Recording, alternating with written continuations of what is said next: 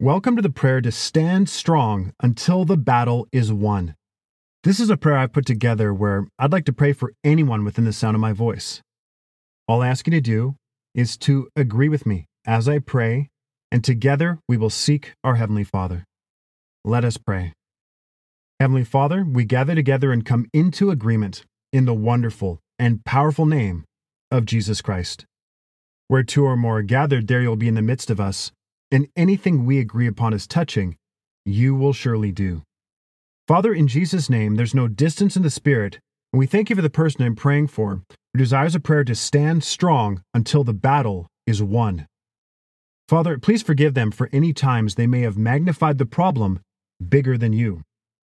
For any moment where they gave into the temptation to zero in on what was coming against them rather than the victory you already had for them.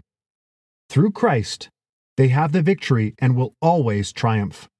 Through Him, they are more than a conqueror. There is no opposition that can ever overtake them, in Jesus' name. They are a victor, not a victim. Please help them change the image of who they see themselves to be.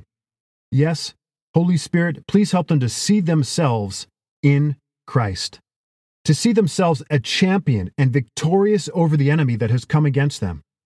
Lord, you have made provision for them no matter what storm they may face.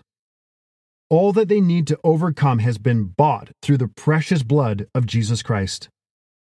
Help them to draw what resources they need from you and you alone. The person I'm praying for has made the resolute decision to jump in and fight to the finish through the power of Christ that is within them. Hallelujah. We decree and declare that through Christ they can overcome anything.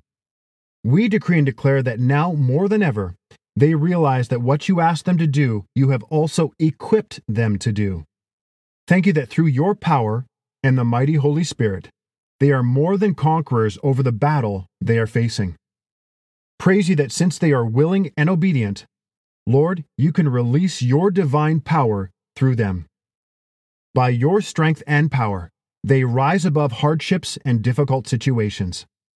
Father, your power within them enables them to push back and defeat the enemy forces. No weapon formed against them shall prosper in Jesus' name. The enemy sees their renewed commitment and recognizes their newfound authority in Christ, and as a result, they scatter in fear because greater are you who is in them. Yes, they stand strong in Christ until the battle is won. We believe and receive everything we've prayed and give you glory in advance, for this prayer is answered. In the wonderful and precious name of Jesus we pray. Amen. Thank you for praying with me. This is Daniel, the creator of Daily Effective Prayer. Be sure to subscribe to the channel and share it with others if you haven't already. If you'd like me to pray for you personally, simply leave a comment below this video. God bless you.